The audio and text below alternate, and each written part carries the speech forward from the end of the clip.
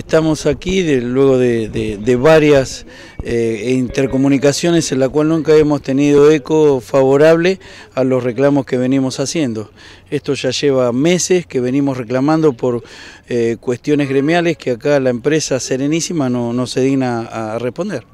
En este caso eh, hay un, compañero, un camionero que, que, estado en una situación complicada también, ¿no? Sí, el tema es que tenemos un compañero en lo cual quedó fuera de lo que es el servicio laboral, que ellos tendrían que haberlo eh, reubicado en otro lugar y bueno, hasta el día de la fecha ya hace más de un mes que nos vienen pateando la pelota para un lado para el otro y no nos dan la respuesta de este compañero, que lo cual nosotros entramos en un acuerdo en un momento con ellos de que sí iban a tomar estos tres chicos, que en realidad son tres, eh, por, por, agencia, ¿no? que son los servicios eventuales, que en lo cual cubren accidentes, vacaciones y todo, y si no tienen esos tres trabajadores, esos tres de agencia, el chofer que, que le falte el ayudante o el ayudante que le falte el chofer, tiene que salir el ayudante manejando el camión sin categoría y aparte tiene que salir solo porque no tiene quien lo acompañe, no tiene acompañante en estos casos. Claro. Eh, ¿Lo que exigen también es que se lo reincorpore de inmediato a esta persona?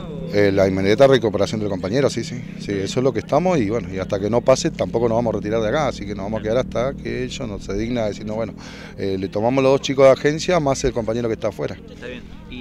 ¿Y hay diálogo o hay por lo menos intención de diálogo o hasta acá nada? Momentáneamente el único que se acercó es un encargado de acá de la empresa eh, que nos tomó el, petitorio y bueno, todavía estamos esperando respuesta. Eh, ¿El sistema en qué consiste? ¿No entra ningún camión? No, no, eh, los camiones entraron a cargar, están todos cargados adentro, no salen. y lo que no permitimos es el ingreso de los camiones de larga distancia para proveer acá la planta.